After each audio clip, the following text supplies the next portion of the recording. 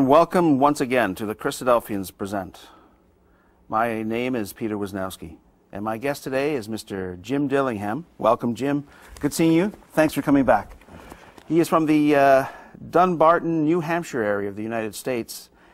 Jim has published Bible study commentaries over several decades in magazines based in various continents around the world. He's written three books Sword of the Spirit, Eight Steps to Reading Your Bible More Effectively, and today's subject, Creation's Gospel, as well as he's hosted a number of uh, website uh, discussions where those books and more of his commentaries and studies are available for full review. Jim has also participated in many Bible based cable shows over a number of years throughout the United States. In our previous consideration of creation or nature, actually, do testify to the exact same gospel that we can find in the Bible, and we would love to hear the continuation of that subject from Jim, if you will. Okay, uh, first slide. We first we have to understand the correct gospel that's found in the Bible, or that creational testimony will contradict those incorrect Bible understandings, like like having an immortal consciousness uh, or an immortal soul, not being dependent on a resurrection to life with one's body for salvation as demonstrated in awakening from sleep, as well as having the divine nature of immortality cover our mortal frame after judgment, as demonstrated by the unique practice of the human species covering our naked creative form. If we don't get the gospel right, the Bible gospel right in the first place, then we what we see around us is just going to look like nature and not creation. Well, you would claim that the testimony is very extensive, everything from the vastness of the universe to uh, atomic structures. Uh, what more can you say to this? Sure.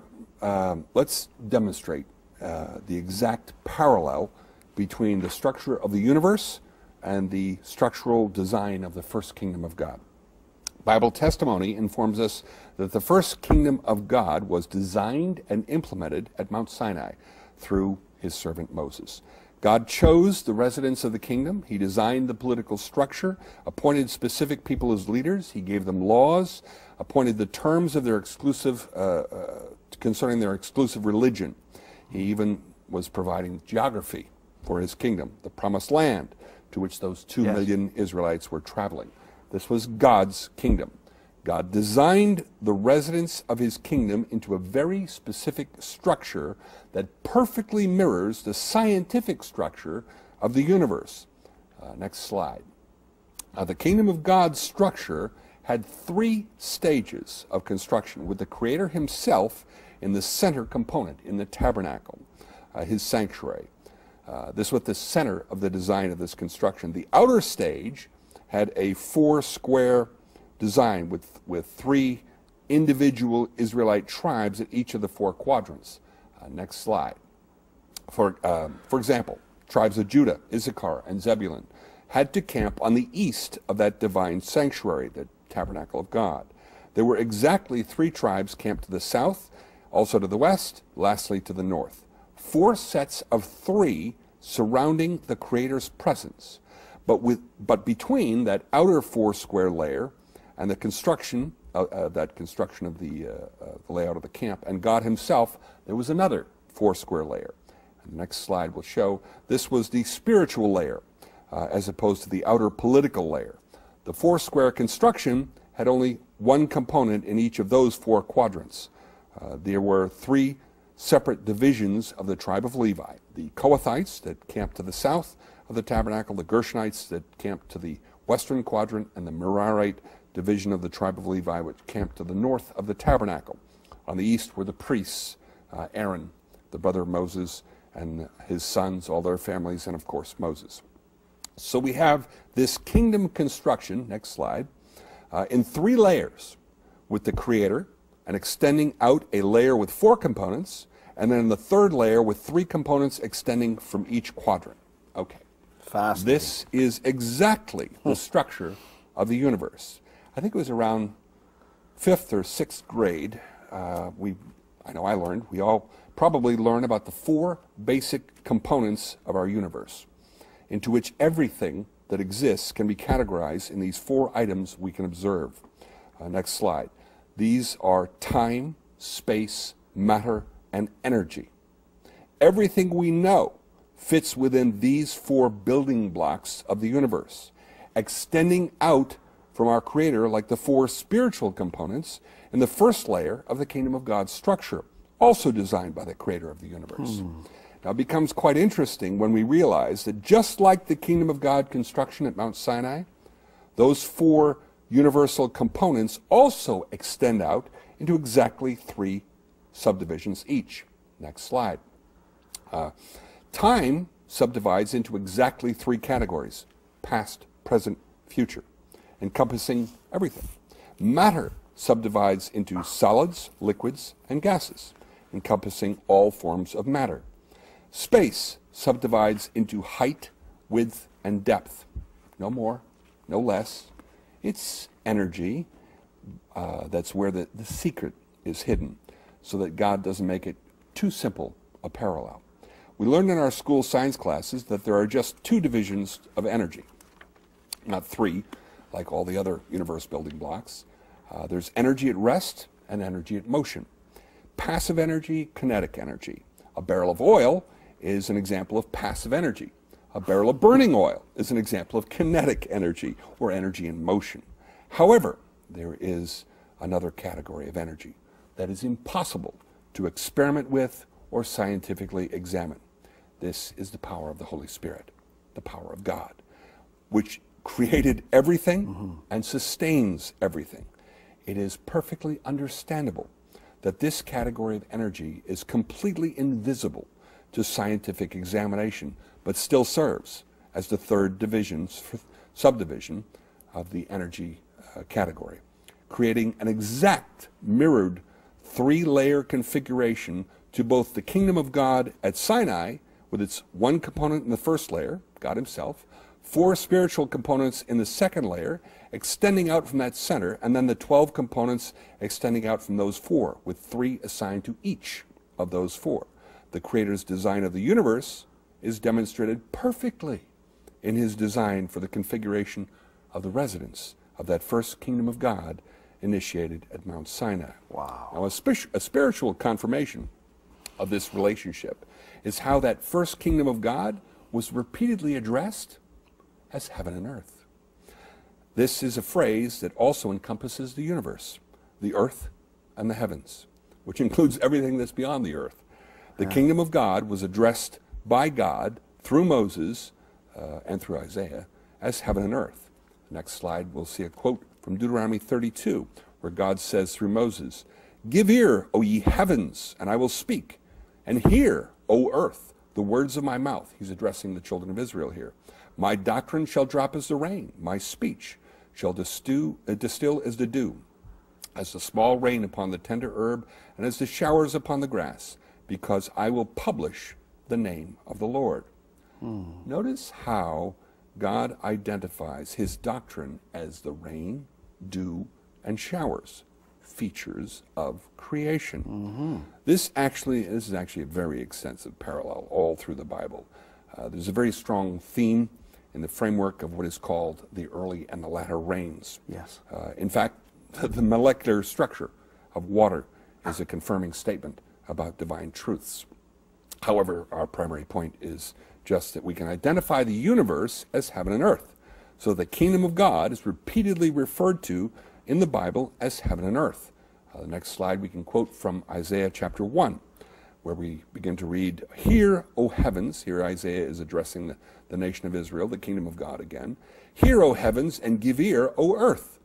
For the Lord has spoken. I have nourished and brought up children, and they've rebelled against me. The ox knows its owner, and the ass his master's crib, but Israel does not know. My people doth not consider. Hmm. Besides being addressed as heaven and earth, again, we can notice the creational parallels that God makes, comparing the Israelites and himself to an ox and its master. Mm-hmm. The thing we have to realize in these creational parallels is that God is not simply observing nature and thinking to himself, I could use that as a parallel. The Creator actually designed everything in advance to testify yeah. to His truths and principles. It's, it's the, uh, the chicken and egg question. Yeah. Uh, the reality is that the Creator's truths and principles came first. And served as the template for everything that was created. The principle came before the application of the principle. We see this phrase, heaven and earth, being used in reference to the destruction of the nation of Israel by both Jesus and Peter, describing how heaven and earth would pass away and burn up, referring to how the Roman Empire would destroy that ah. first kingdom of God. I see. Now, if we're, go- if we're going to see the evidence and hear the testimony in the tiniest application of creation, the microscopic nature of atomic construction, we're going to have to understand uh, the powerful but subtle nature of Bible patterns. We do need to understand the features of our Creator's righteousness that these atomic patterns confirm, but we also need to understand the, there are distinct numerical patterns in the Bible, certain numbers that are used in the context of specific truths and principles to the, to the degree that divine patterns become quite clear. So, we're going to go to atomic construction. The atomic construction of the elements to define the two elements that are the icons of mortality and immortality. That's absolutely fascinating. How, how does that work? That, that is fascinating, and I'm sure I would like to be in the, the seat of a scientist hearing this for the first time. Well, there is one particular element that defines all mortal life. It's, uh, we learned this in fifth or sixth grade as well in science class. Uh, next slide. This is carbon. Uh, carbon, all life that scientists define, uh, all life on, on Earth that we know of, is carbon based life forms. Carbon molecules form the core structure of the molecules used in all forms of life uh, to which other atoms attach themselves uh, to create the operating structure of life. It should come to no, as no surprise in our considerations, anyone that has any Bible training, that the number identifying the element that identifies mortal life, carbon, is the number six. Next slide uh, identifies the chart of the elements, uh, and we see from that chart of the elements that carbon is placed at number six because carbon has six protons in its intelligently designed atomic structure. Um, the number six, all through Scripture, is identified with death, uh, Yes. mortality, sin, uh, the effects of sin, such as disease, hard work, uh, unproductiveness. Um, six is constantly associated with the curse of sin and death, all through Scripture. So um, we can see that with the identification of carbon having six protons in its intelligently designed atomic structure, we have this very close association between uh, the observations, scientific observations of the features of creation and divine testimony. Uh, these are the words of God that can never be destroyed. They'll always be right, always be eternal. So it would be wise to look first within the eternal words of God to identify what element is creationally appointed to, as the icon of immortality, because there's really nothing in our creational observation that we can say, well, that's an immortal thing, so we can learn something from this. There's nothing immortal except perhaps maybe the Word of God. well, where specifically do we find that in scriptures? Okay, well, in John chapter 3, Jesus answers a question from one of the masters or the teachers in mm-hmm. Israel about what it means to be born again from one nature to another. Uh, Nicodemus uh, came to him in the middle of the night. He wanted, didn't want to be seen with him. And he didn't understand how anyone could be born a second time in order to inherit the future kingdom of God. So Jesus explains it to him in this way, in this next slide. We quote from uh, John chapter 3, beginning in verse 7. Jesus says, Marvel not that I said unto thee, You must be born again. The wind blows where it lists, and thou hearest the sound thereof, and cannot tell whence it cometh, and whither it goeth. goeth. So is every one that is born of the Spirit. So Jesus says that being born again into a new life, a new nature, as we've seen in the past, to be covered, is to become like the wind. Now, it should be understood that the Greek word translated wind here is the same Greek word that's translated spirit. Uh, it's the Greek word pneuma, uh, as in Holy Spirit, Hagios pneuma. Uh, it also translated a breath and wind and air. Uh, we get our English words pneumatic and pneumonia, also related obviously to the movement of uh, air or breath.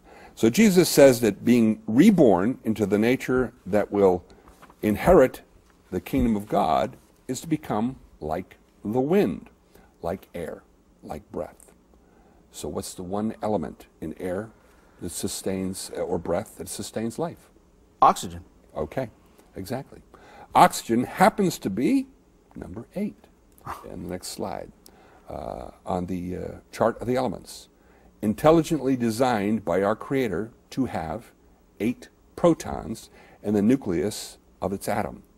Uh, just as carbon, the element everyone recognizes being the basis for mortal life, uh, is scientifically identified by the number uh, in the Bible by the number six, representing mortality. So oxygen, uh, the biblical and creational symbol for immortality, is atomically identified by the number eight, uh, due to the endless uh, flow of the number eight uh, throughout Scripture related to um, salvation and immortality. For example, even science, if you take that number eight and you just drop it on its side, it's the very symbol for infinity, Yes. scientifically. Yes. Throughout Scripture, the number eight has a direct association with Jesus Christ in the fact that uh, in the New Testament, was originally written in Greek, uh, there are six Greek letters that are used to, uh, for the name of Jesus. It's iota, eta, sigma, omicron, upsilon, sigma.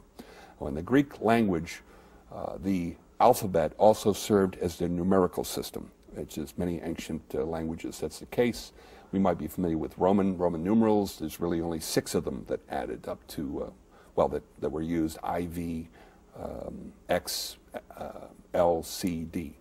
And uh, but in the Greek, all the letters had a numerical significance. So if you take those six letters uh, of the Greek name of Jesus and you add up the numbers, they add up to eight, eight, eight. Just as the man of sin is identified in Revelation 13 uh, uh, by the number 666, the man of righteousness is identified by the numbers 888, signifying the three immortalization events that will take place in the plan of God. Jesus Christ being first, and the other two following at the beginning and ending of that restored kingdom of God, uh, what's, what's defined as the millennial kingdom, the thousand year kingdom of God. Uh, there will be an immortalization at the beginning after judgment and at the end after judgment.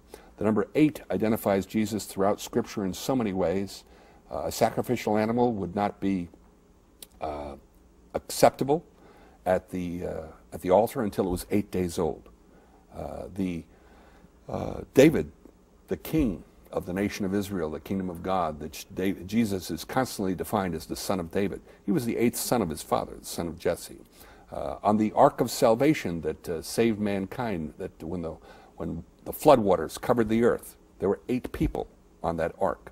Noah is defined by Peter as the eighth person, even though he was the first. He's defined as the eighth Yes. because his name means rest. He, ref- he uh, parallels the Savior, Savior of mankind, Jesus Christ, that would come to save ultimately. And so we have this constant definition, uh, circumcision, the cutting off the flesh, which represents again spirit nature as opposed to flesh nature. It was done on the eighth day. We have this constant repetition of the number eight being associated with salvation, the plan of God being realized, and of course fulfilled ultimately in the Savior himself in his name that adds up to 888. Fascinating. So his actual resurrection morning was on the what we would call the eighth day. Because it was the day after the Sabbath. The day- the day It was really the the, first day of the new week, but it would be the day after the seventh, therefore, in a sense, the eighth. He was Oh. the first and the last. Okay, so th- there's obviously what you're bringing out from Scripture makes perfect sense, reflecting nature, and that there's there's this animosity between the number eight and the number six. Can you get into a bit more detail, somewhat even historically, about the number six and what it's come to represent? I know you quoted from Revelation, that whole system that Well, seems that system is identified by 666. There are um, direct associations between this number six and the curses of sin and death, such as uh, one of the curses was hard labor, that we would have to, we would uh, work only by uh, the sweat of our brow would we actually um, uh, get fruitfulness. It would be very difficult, much more difficult than it was in the Garden of Eden. And that was good for six days. We're supposed to rest on the seventh. And so we have six being identified with that. We're buried six feet under as a general rule because yes. that's what uh, uh, the earth can reclaim. I never thought that, of that uh, one. And, and disease does not uh, continue from the corpse. Uh, there's really quite a number, an endless relationship between uh, the number six and, the, and, and mortality. And of course, Jesus comes as a human being, six, and becomes the author of salvation 888 on three stages and that's why his the six letters of his greek name add up to 888 we see that extension from six to eight. That's done a number of ways in scripture. Actually it's it's um, there's a number of applications where those numbers are used but it's a little more subtle. Uh, the the covenant that god made with abram later name changed to abraham. We have a covenant so that Abram would know that his, his promises would come true. God says, take three three year old animals and cut them in half, six components. Yes. Take two whole birds, put them on either side. You've got two rows of four, total of eight components. Six halves, two wholes. Six and two, eight. Again, referring to the Messiah. And this we have three land bound animals um, a bullock, sheep, and a goat. And then we have two fowl of heaven heaven and earth, that add up to eight p- components, six plus two, just like the name of Jesus. Uh, and to go even further, those six halves that refer to the uh, mortal aspect, the cut in half, um, that found, the foundation of each of those animals was four legs, four hooves. They had they were clean animals according to uh, Leviticus uh, chapter uh, 11, which defines a clean animal as one that chews the cud, has a parted hoof and specifically a cloven hoof. Yes. So those three animals each had eight foundational components on each of them, four cloven hoofs. So you've got three eights that are cut into six pieces, just like the name of Jesus. Three, six, eight. Uh, it's, there's actually quite a number of them. We can do that with the, uh, with the Ark of the Covenant. The design of the Ark of the Covenant was such that you have six surfaces, uh, top, bottom, left, right, front, back, six surfaces that are joined together to make a box. Yes. Eight points of convergence where three planes meet. Eight corners. Top, right, uh, front. One corner. And you've got eight corners or eight points of convergence where three planes meet. Six, three, eight. Just like the name of Jesus. This goes on all the, all the way through Scripture. Might be a little subtle, but once we understand mm-hmm. the actual truths of the matter, we understand there are three immortalizations in the plan of God. Uh, that no one is immortalized until Jesus comes back. The resurrection, the awakening, just like we do every morning. And then, after the judgment, the covering, immortality for those that will be chosen. Uh, there's three of those depicted in his name, depicted in all kinds of subtle applications all through Scripture. Well, that's, that's absolutely fascinating. You, what you've done is you've researched Scripture compared it to nature, and you have helped with, with our audience today unlock some of these mysteries that a lot of people wouldn't even think, would, wouldn't even be able to, to penetrate beneath the surface. But because of your, your Bible study and God's blessing, your, your research into this, you've uncovered things that uh, uh, are fascinating both to uh, lay people and, and scientists alike. We have uh, about another minute or so. Is there anything you'd like to uh, conclude on? Well, just the fact that you could, because I mentioned that, that Scripture is three dimensional, all of divine expressions are three dimensional. Mm-hmm. Uh, you can take it in any direction and it will fit perfectly as long as you have the right truths and principles to start yes. with. The, the lessons of agriculture are absolutely fascinating in Scripture. All uh, the body of the enlightened, the church, all through Scripture is likened to fruit bearing plant life, where the unenlightened are likened to non-fruit bearing plant life, briars, thorns, grass. Uh, you can take that to elemental levels. There, you can extend this out as far and wide as you want. It's going to make perfect sense scientifically and scripturally. And the problems with uh, science arguing supposedly against Scripture, there really is no argument because whatever science is supposedly arguing against was not the original, authentic biblical Christianity being presented. And what you're doing for us today is to show that there's an absolute harmony Absolutely. between Scripture and creation as we know it as believers, and that God was the, the great creator, the mastermind, the, the intelligent design behind everything. If science only knew that what the Bible really presented was in harmony, it would be uh, hopefully maybe that more scientific uh, community would uh, agree with what you're showing us today. Well, it's there to discover. If we have eyes to see and ears to hear, understanding hearts and minds, it's there for us. But he speaks in an intentional complexity to strip away that natural, instinctive, heart generated thought process that is self worship. Uh, if we can get through that intentional complexity, there is incredible, glorious things to see. And as Jesus himself even said, that he spoke in parables so that those who can see would not see, and that those who would uh, think they heard didn't truly perceive. And so, as we're doing uh, uh, and thanking the, you for all this great research, we're, we're encouraged to continue on in our search the scriptures, for in them we know that we have eternal life. Thanks, Jim, so much for coming all this way. And we appreciate all that extra work that you did. We ask the audience to continue to search the scriptures on a regular basis and to look to uh, finding out uh, some answers uh, for any of those questions that you have. Continue to read, call us, email us. God bless you.